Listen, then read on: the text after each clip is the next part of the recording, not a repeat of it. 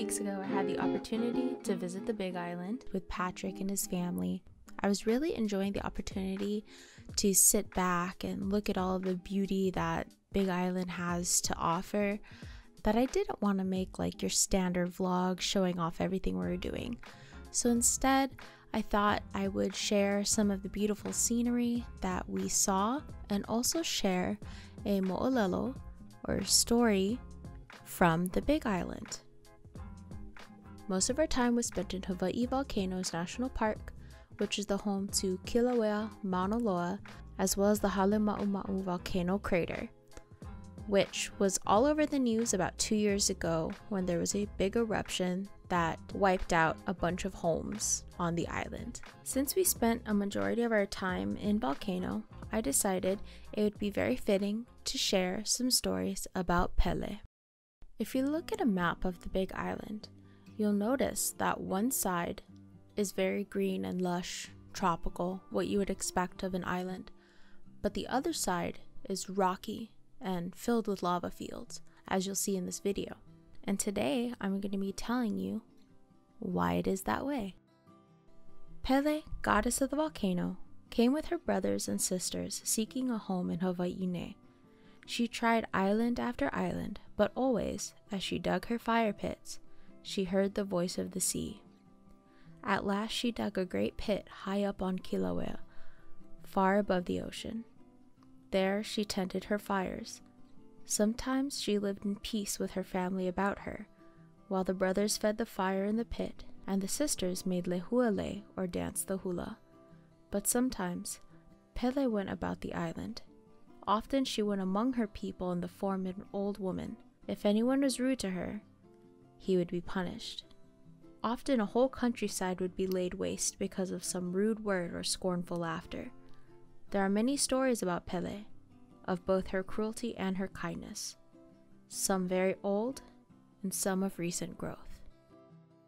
Pele lay watching her fires while, about her, her sister sat making lei of lehua. Look, one whispered, see that handsome man? A handsome man, indeed, stood on the point of the rock, above the edge of the pit. He smiled down at the women and chanted, O beautiful women, making lei, you shall make them, I shall wear them.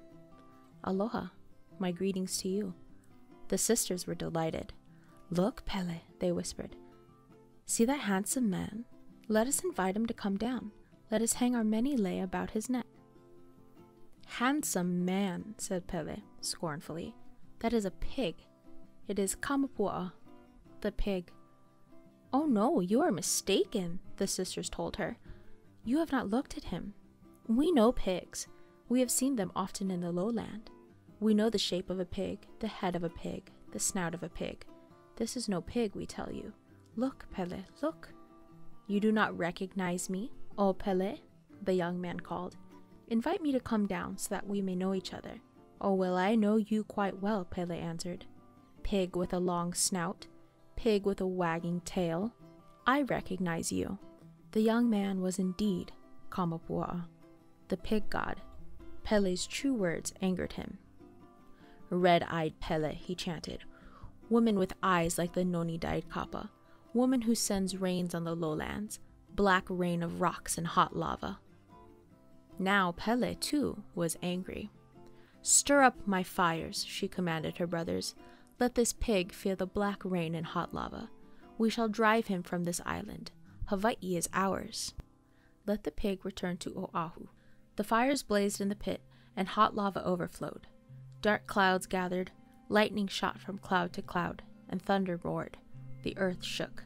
Pele could no longer see Kamapua'a, but she heard his scornful voice chanting, The fire of Pele is burning the uplands of Puna. Black smoke darkens the heavens. It falls on the snow of the mountain. The roll of the thunder is heard. The loud voice of Pele, the woman. The pit is filled with the fire and smoke of Pele, the woman. So he lived. Pele stamped on the floor of the fire pit. Lava burst forth once more and filled the pit. Hot rocks shot upward. Steam and smoke rose until it seemed as if earth and heaven were afire. Surely Kamapua'a was burned. Pele listened and heard no scornful chant. The pig god was dead. Let the fires die down, she commanded. Slowly the fire died. Lava turned black and no longer flowed. Smoke disappeared, and the sky became clear. And there in the light of the sun, Kamapua'a stood on the same point of the rock. Pele had neither killed him nor driven him away. Rekindle my fires, she shouted. Again, Kilauea was filled with fire and lava. And now Kamapua'a prayed, O gods of the skies, let the rain come, let it fall. O clouds in the skies, black as smoke, let the heavens fall on earth, let the heavens roll open for the rain, let the storm come. Rain poured from heaven, it hissed upon the hot lava and rose in clouds of steam. Great waves rolled in from the sea and poured over the island. The crater was filled with water, and the fires of Pele went out. Kamapua'a still stood upon the point of rock and laughed, for he thought he had conquered Pele. But the fire making sticks had been hidden away where no water could touch them. Rekindle the fire, Pele commanded, and her brothers set to work.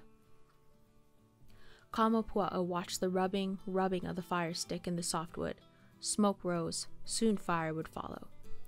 Let us be friends, O Pele, he said. Yes, Pele, her sisters and brothers begged. It was you who started this quarrel. You called Kamapua'a a pig and made him angry. You have not driven him out. He cannot destroy you, nor can you destroy him. Make peace, or between you the island will be laid waste. Yes, Pele said at last. I started the quarrel. Fire and water, neither is stronger than the other. Let us make peace, O Kamapua'a. So peace was made, and Hawaii was divided. Pele still sends her lava flows over Ka'u, Puna, and Kona, but the other side of the island belongs to Kamapua'a. There, rain falls and forests and gardens grow. Never fear that lava will reach Hilo, people say. Hilo is safe. This side of the island does not belong to Pele. Thank you guys so much for watching this video. I hope you enjoyed the story I told you guys today if you want to check out more stories, I got this one from Hawaii Island Legends, which was edited by Mary Kawena Pukui and published by Kamehameha Publishing. And I'll try and link it below if you want to check it out. I hope you guys have a great day, and I'll see you next week. Bye!